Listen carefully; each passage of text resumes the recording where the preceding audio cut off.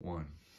Hey everybody, uh, this is Danny and of course our elder treasurer Mike Walden and uh, we're here to report to you financially on the month of March. March. Okay, how do we do Mike? All right. Well, we had budgeted to come in 100,000, 200. Oh wow, that's It's big. that, that feels big. It is big. Wow. We brought in 108.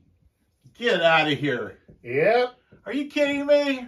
7,800 to the positive. Surplus for the month? Yep. Oh, that's really good. You guys are incredible. Yeah. The faithfulness of our people in giving, and Yeah. God, God, God bless you guys. That's really, really good. Now, against the year, Yeah, we're, we're still running a little bit behind, but with giving like this, yeah, you are faithful. God is going to provide. yeah, that, that's really good. And so, every giving dollar makes a statement that we depend on God. Isn't that Mm-hmm. right? Like your personal finances, when you you set aside money, that that's your way of declaring dependence on God. So, Mhm. I just love that about our people. So, praise God for that. Yeah.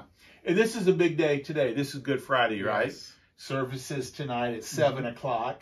Looking forward to that.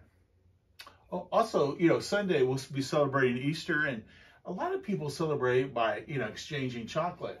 And I just wondered if you had any chocolate for, for me.